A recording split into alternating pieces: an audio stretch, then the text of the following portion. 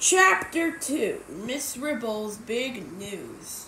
One fine day, George and Harold's home run teacher, Miss Ribble, entered the classroom looking a little bit, looking a bit meaner than usual.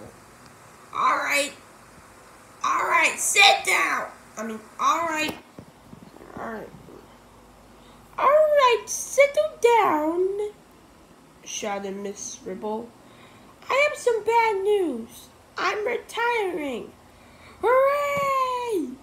cried the children. Not today, snapped Miss Ribble. At, at the end of the school year. Aww. Oh, man, moaned the children.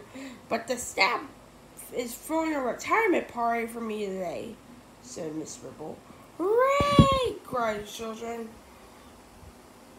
during recess, said Miss Ribble. Oh, man, moaned the children.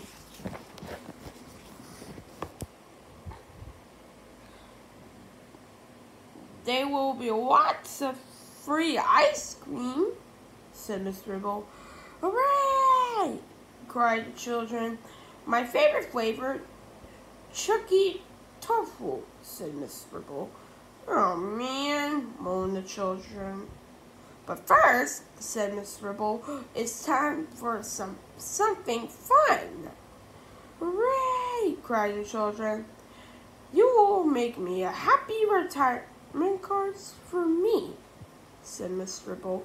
Oh man, moaned the children.